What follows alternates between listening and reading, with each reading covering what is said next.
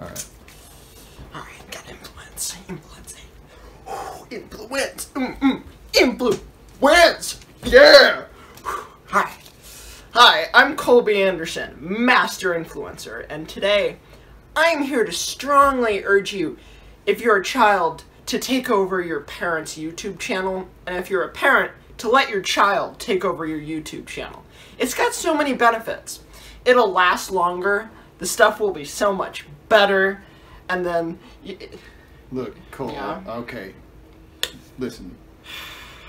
I know in the past I've been uh, very angry and I've gotten angry at you for uh, uh, doing blursh videos pulled, behind pulled my me, back. pulled me off of bed, I've done. I, I've, chased me. I, uh, granted, bike, I've overreacted. I've overreacted. pulled, pulled me out of a car. Okay, and I apologize. Yeah, yeah, I, I sorry, over sorry, yeah. I overreacted in those instances, and I'm sorry. So I would just like to ask this. I'm asking this uh, like with full respect, humbly asking. Just please, can you please okay. stop taking over Blursh Influencer Empire? Can you please stop doing these videos behind my back, please? It would mean a lot to me. I love you, Dad. You're great. You're amazing. Come, come bring here. I'm not going to. I'm I'm better at this than you are. What are you talking about? I'm better. I'm I a more Bo Burnham type. I'm younger. I've I've got better hair.